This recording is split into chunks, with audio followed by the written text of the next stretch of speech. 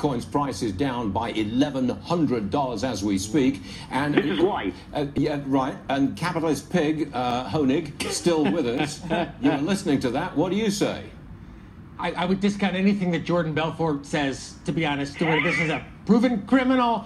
This is someone who's cheated investors. I, you know, I think you have to consider the source, and uh, you know, whatever he says, Jordan I probably do the Belfort laid out- opposite. he laid out a good case of how Bitcoin can be manipulated by the insiders because there's a very tiny Yeah. float. Everybody's chasing a very limited number of Bitcoins. Don't you want to respond to that, Jonathan? Bernie Bernie Madoff laid out a great. I just again, Charles, I, I, I- Stuart, I don't want to be uh, hyperbolic here, but Why consider the source. attack my This is Let's, talk, someone- let's talk facts. Why attack?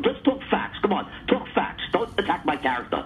Okay. Well, that's a fair point, Jonathan. You respond to that.